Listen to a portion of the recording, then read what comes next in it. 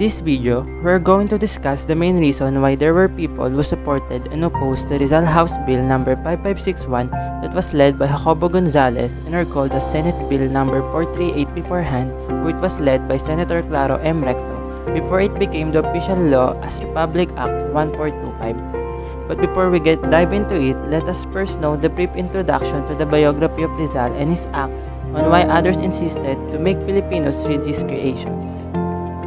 In addition, to learn what the Rizal Law is all about, for us to understand its purpose and intentions on why it was made, and also what is the reason that led others to start debating on about its implementation. Lastly, we will start to answer these guide questions such as what was the major argument raised by Senator Francisco Rodrigo against the passage of the Rizal Bill? What was the major argument raised by Senators Jose P. Laurel and Claro M. Recto in support the passage of the Rizal Bill? And are there points of convergence between the supporters and opposers of the Rizal Bill based on the statements? These following guide questions will enable us to thoroughly grasp the meaning and purpose behind the Rizal Law.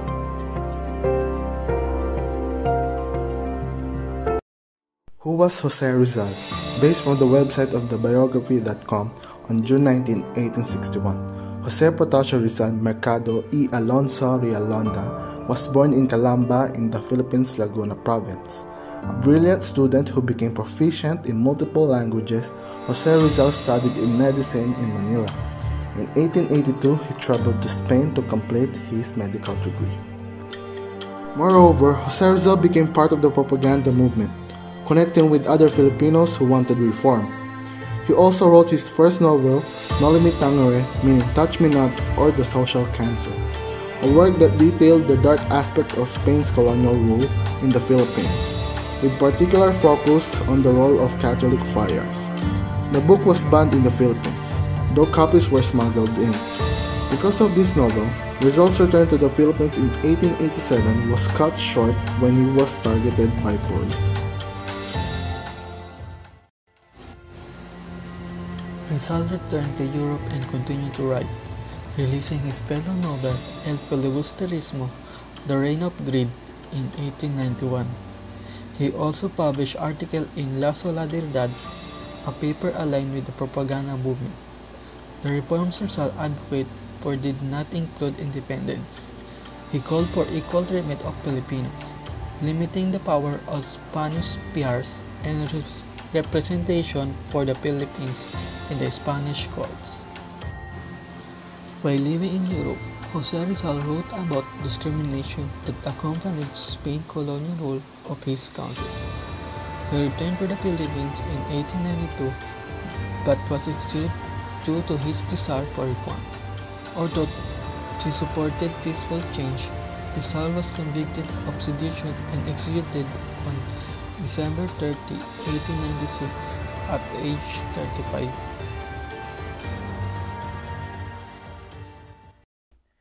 Now that we have known who Jose Rizal is, let's move on and talk about the Rizal Law, what it is in particular, its purpose and intention so that we can prepare to know what made others to start arguments and criticize each other. According to the website of slideshare.net, information provided by Edmundo Dantes, Republic Act No. 1425, known as the Rizal Law. Its purpose is to mandate all educational institutions in the Philippines to offer courses about Jose Rizal. The full name of the law is an act to include in the curricula of all public and private school, colleges, and universities courses on the life, works, and writing of Jose Rizal, particularly his novels Noli Me Tangere and El Filibusterismo, authorizing the printing and distribution thereof, and for other purposes. The measure was strongly opposed by the Roman Catholic Church in the Philippines due to the anti-clerical themes in Noli Me Tangere and El Filibusterismo. Senator Claro M. Recto was the main proponent of the Rizal Bill. He sought to sponsor the bill at Congress. However, this was met stiff opposition from the Catholic Church. During the 1955 Senate election, the church charged Recto with being a communist and an anti-Catholic. After Recto's election, the church continued to oppose the bill mandating the reading of Rizal's novels Noli Me Tangere and El Filibusterismo, claiming it would violate freedom of conscience and religion. On May 12, 1956, a compromise inserted by Committee on Education Chairman Laurel that accommodated the objections of the Catholic Church was approved unanimously. The bill specified that only college students would have the option of reading an expurgated version of lyrically contested reading material, such as Noli Me Tangere and El Filibusterismo. The bill was enacted on June 12, 1956, Flag Day.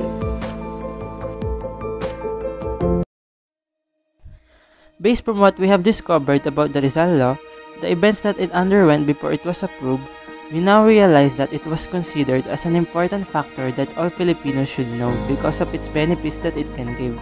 For instance, we may become conscious as people that will lead us to know what indeed is the true meaning behind national dignity, personal pride, and patriotism.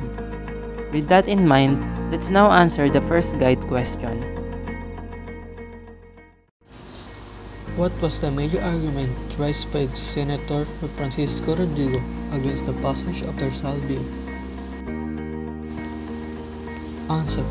Noli Me and El Filibusterismo, better known of the Rizal Bill, was famous as a one of the most controversial bills passed in the Philippines. Under normal circumstances, when new laws are proposed, it prompts a debate between the upper house and the lower house of the Senate in the House of Representatives before it could be officially approved as a law. The major argument raised by Senator Rodrigo was the of Rizal, especially Noli Me Tangere and El Filibusterismo, were writing to directly attack and ridicule the Catholic Church. He stated that the violates the canon law of 1933. He also argues that the book are clearly anti-Catholic. The canon law is the ordinance and regulation made by the ecclesiastical authorities. Its function is to develop and maintain serviceable institution for the members of the church. What was the major argument raised by Senator Jose P. Laurel and Claro M. Recto in support the passage of the Rizal Bill? Senator Jose P. Laurel stated that all Filipinos must read the two novels of Rizal in order to know what our identity is. This let the Filipinos see our strengths and defects. Also, this allows us to be conscious as people or citizens of the Philippines to learn, know and prepare ourselves for painful sacrifices that has helped led to the freedom that we have now in the present, which was led by self-reliance, self-respect, courage, and leadership. Thus, we should know that we are equal amongst the people that try to oppress us. For Senator Claro M. Recto, Rizal did not mean to teach how religion must be practiced. Instead, he focused on awakening the Filipino minds about their current situation during the time of the Spanish colonization. The novels of Rizal show the history of the Filipinos under the oppression of the Spaniards. Through his novel, he made us aware of our national dignity, personal pride, and patriotism.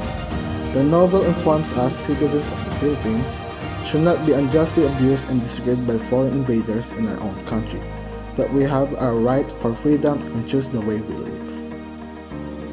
Are there points of convergence between the supporters and opposers of the Rizal Bill based on the statements? The three senators definitely have the same concern for our country.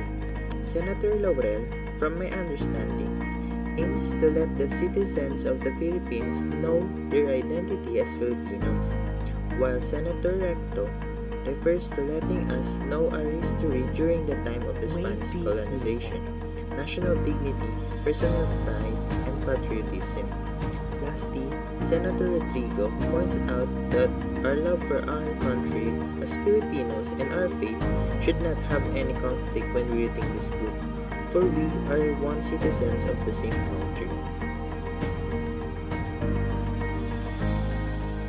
Based from the presented information with regards to Jose Rizal, his life, works, and the origin of the Rizal Law, as well as the arguments of people before on why they were in the side of opposition and proposition, the purpose as well as the intention of the Rizal Law and why it must be implemented, we hope that you have learned from them.